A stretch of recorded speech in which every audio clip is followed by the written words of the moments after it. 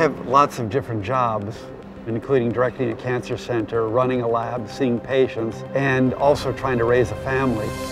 My history with blood-based cancer actually dates back to when I was a medical student, and I learned about the cure of childhood leukemia, some of which was supported by LLS-funded researchers.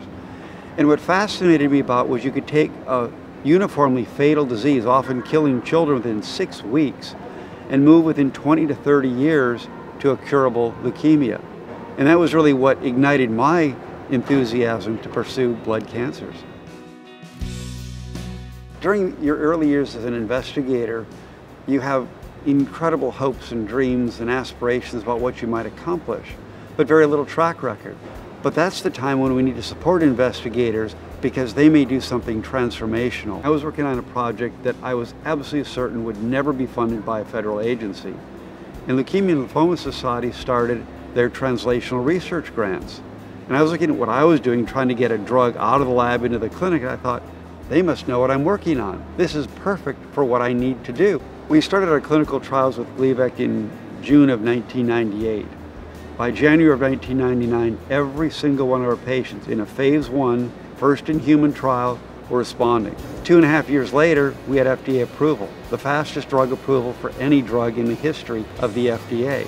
Hundreds of thousands of people now are taking Gleevec, and we've taken a disease that had a three to five year life expectancy, and now we project that people should live a normal lifespan. Why can't we do that for every leukemia? So our goal is to think about how we extend that paradigm from CML, childhood leukemia, to adults with AML that haven't had an improvement in their outcome for 30 to 40 years. One of the things that's unique about my background was I took a concept out of the lab and moved to the clinic in a collaboration with a drug company. And one of the things that the Leukemia Lymphoma Society is extremely good at is forging those partnerships, recognizing that by bringing different expertise together, you accelerate progress.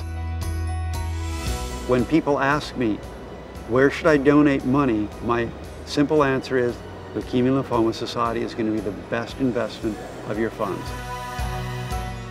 We can make an impact and we have to accelerate progress. Too many people are dying of cancer in our country today. And to me, it's a travesty that we aren't investing more in research at a time when we can bring enormous technologies to bear on this problem. And that's particularly why I like working with the LLS because they share that sense of urgency.